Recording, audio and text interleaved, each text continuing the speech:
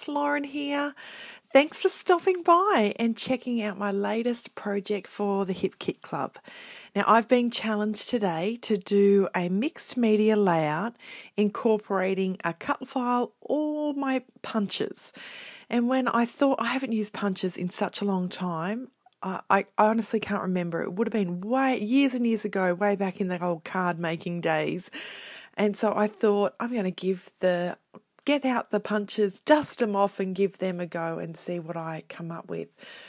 So, the other thing I was thinking about here, I had all these little bits and pieces left over from layouts that I'd, I had created using the kits uh, already. And I thought, I'm just going to have a little bit of fun doing some paper piecing, which is just cutting pieces of paper into random sizes and placing them out over your background.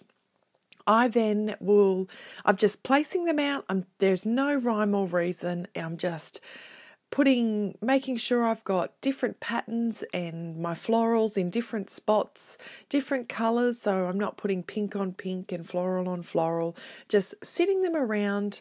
I haven't measured any of the pieces. I'm just piecing them out and sitting them around. And what that does it creates kind of a bit of a custom background.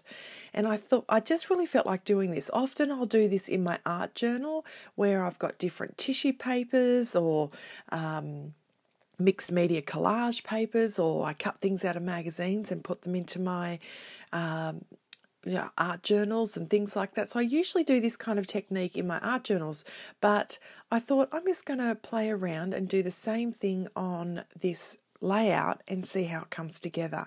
And as you can see, just piecing them out, I've got a cut, bit of a custom background there and it seems to be really coming together and bordering my photo. Um, I thought this was fun and um, just something different to try when usually I don't do this for as a starting point off for my mixed media layouts. So then I'm going to get out some of the Dina Wakley gel medium what's it called? It's yeah, gel medium. It's a soft gel matte medium. And what this is is I use it as an adhesive and also as a bit of a sealer. So as you can see, I'm I've gone supersonic here because to tell you the truth, this layout took like probably in real time an hour and a half. So I go supersonic in some of these some processes throughout this video just because it, you'd be sitting here for ages and you I'm sure you'd get sick of hearing my voice. So I've gone supersonic and I did that. So I just applied gel medium on the bottom, adhered the paper and applied gel medium over the top, which gave me that really nice smooth background and helped kind of really stick down that paper piecing on the bottom page. I've then grabbed the stencil from last month's colour kit, which was the exclusive Paige Evans one. I really like how intricate this stencil is and thought it'd be fun to add some more texture as a bit like to help my mixed media, you know, my mixed media job here for Mixed Media Monday and I'm just using a little bit of the whip spackle or you can use any form of texture paste or modeling paste to do this. What I would suggest is if you're going to use like a gel medium or a modeling paste and you really wanted that white to really pop, add some white acrylic paint to your medium and then you'll see that uh, design really kind of jump out off the pattern papers there. So here I was just wanting to add some more texture. I've got layers of paper there, I've got florals and patterns, and here I go. I'm just wanting to add some more texture on the top and use some yummy mixed media goodiness and adding that stenciling there. Just did that. I'm just going to spritz a little bit of this Shimmers paint that came in a colour kit a couple of months ago and add some splatters there and that really finishes off my mixed media component um, which is the formation of my background. There you have it. It's almost like a pattern piece of paper that you buy off the shelf but it's been really fun to make and a little bit time consuming because uh, you're drying off between each stage. But, you know, I was really happy with the result. Now, here I am just doing some fussy cutting. Once again, gone supersonic to save a bit of time. Um, I don't fussy cut that fast. and I've also started using some punches, which is part of my challenge. And that punch there, I have a feeling might be a Martha Stewart one. It's a sweet little flower, and you can layer it up and get lots of different sort of dimension um, and you know sort of create different flowers. But perfectly well for what it was today was I was able to punch these out and then layer them behind those gorgeous flowers on that peach paper there. That is a Dear Lizzie paper, really cute. And there is something about those leaves. I really think they are like an Australian gum leaf. So I really, this piece of paper, I've been fussy cutting it a fair bit, and I think it's because it's sort of resonating with me because it's a it's a leaf that is very familiar to me because it reminds me of an Australian gum tree leaf, and so I really like that. I like the colours of it. A bit of an Australian feel there with those colours as well. And so I've just laid those up and set them to side to dry. I've just used wet glue in between those layers. And I'm going to start working on my photo cluster and really trying to make sure that comes off the page. Here I am, I guess, in a sense of mixed media, we don't only think of texture paste and sprays, we can also think about using different um, non-traditional kind of uh, products. And here I have is I'm just going to do some ruffles across the um, bottom half of my photo on the background there using some white tissue paper. What this has done is not only added an extra dimension to my page and texture with the ruffles, it has stopped my photo getting lost in all that busyness that my background has become. So it really makes it stand off, gives it dimension, and here I go supersonic again because I know you don't want to I'm sure you get the general gist of my my tissue paper ruffles there. but it looks really sweet. The white paper doesn't take away from the background, it sort of blends into the background. But what it helps me is to really make my photo a lovely big feature on my layout there. So there you go, fluffing it up, and there you go. As you can see, it's starting to really come together. Now I'm going to jump on here and I'm thinking, okay, I, I want to add a bit more of that blue because I've got lots of pinks in there. I want to add a little bit more of my blue. So I'm pulling out another punch and this one here's like a little notepad one and that one I believe is a Stampin' Up one. So those two that you'll see in the corner, the little scalloped edge and this little one here I'm using right now, they are Stampin' Up punches and I've had these punches forever. These, um, probably those three punches plus another heart one, which I showed you earlier, which I don't end up using. Um, I always have them in my Raskog beside my desk once again, it would be five years since I've used a punch, I'm sure of it. And uh, but they're always there because they're the good old faithfuls. You can't go wrong with a flower. You can't go wrong with a heart. You can't go wrong with a scalloped edge or this cute little note paper one there.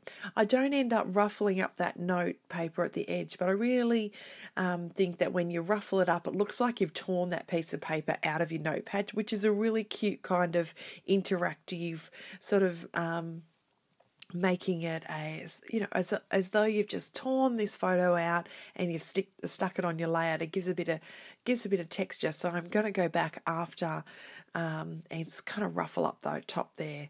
But you know, I guess with all that texture, I just when I was making, I didn't even think of it. But now watching this and doing this voiceover, I'm thinking I'm going to tear those a bit and um, do that. So I've got my ruffles down the bottom, my white tissue paper. So that was a really create a lot of dimension, which when I set my photo on, it sort of dropped it back a bit because it like the bottom of it was sitting up higher than the top. So I double layered some foam tape on the top of that so it would really sort of even out in its dimension across across the page. So it it has a bit of you can tell it's kind of jumping up there, um, even though it's difficult to tell, as you can see um, from this perspective. But in real life, I assure you, it really looks like the photo is standing out and um, is, you know, a real feature on the page. Now, here are these gorgeous acetate, these are exclusive to the Hip Kit Club uh, May kits. Um, the acetate butterflies, you can layer them up and you can, I've, you can fold them in half and make their little wings pop up, which look like they're coming uh, coming alive. And I just really wanted to have a play with them. So here I am, I'm just going to sit some of those out. As you can see, I just placed those flowers that I'd fussy cut um, in those special spots on my on my layout there because that's where I thought I'm gonna I'm gonna put them, and I really wanted to be thinking about my title at this point as well, where that's gonna go, even though I've got that Happy Mother's Day on the photo. Uh, this photo is Katie and I, and obviously little Elsa, our much loved pooch. Um, on Mother's Day, Katie grabbed my phone and she fired up Snapchat, which Snapchat's not something I'm very good at, or um, like I don't know too much about it. I just try and get on there as best I can to um, be a cool mum and try and track down the kids when I need to. Um, but so I'm trying to navigate that. But Katie's navigated it very well. And so she puts these filters on. And we had, on Mother's Day, we just had some selfie fun. And it was um, really cute. It, it actually made me, lot, they look, made, these filters made me look a lot younger. So I was having a really good time playing with these filters with Katie. And we got a few snapshots, and it was lovely that the Mother's Day uh, scripty font was sort of incorporated into some of those filters. And we've got these beautiful photos of us together.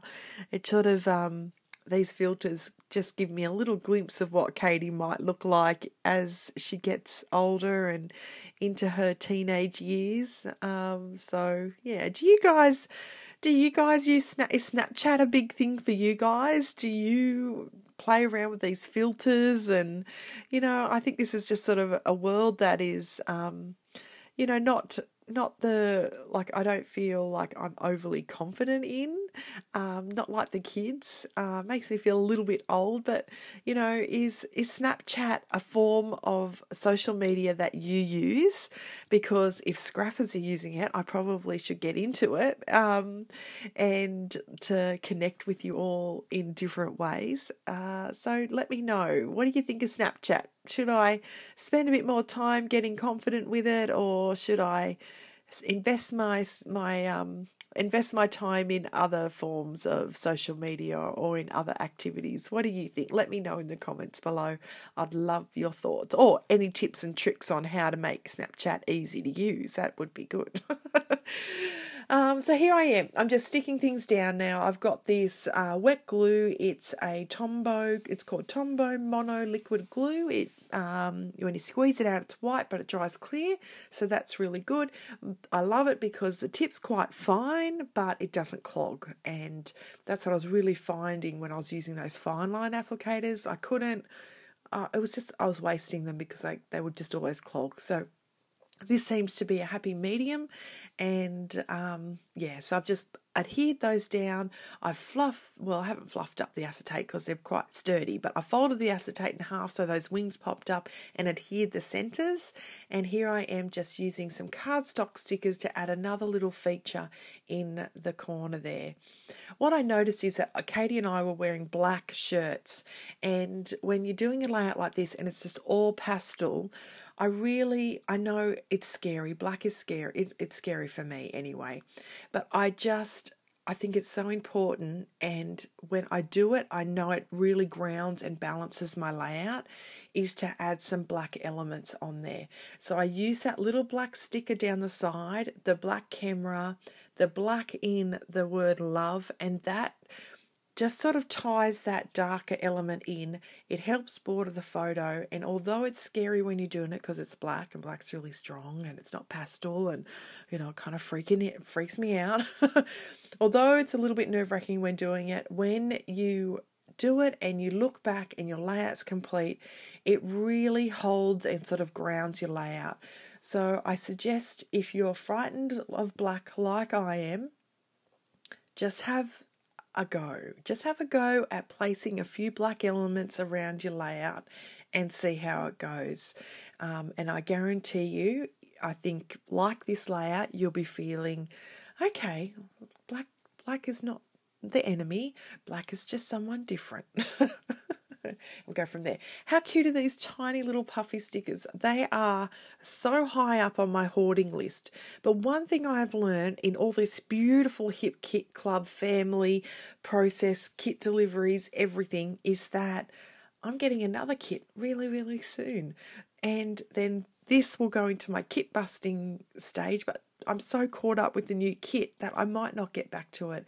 So I really said to myself, Lauren, put it aside, get in there and use those super cute little puffy stickers and make this layout something magical. And that's what I've done. So I really hope you like this layout. Check out the Hip Kit Club.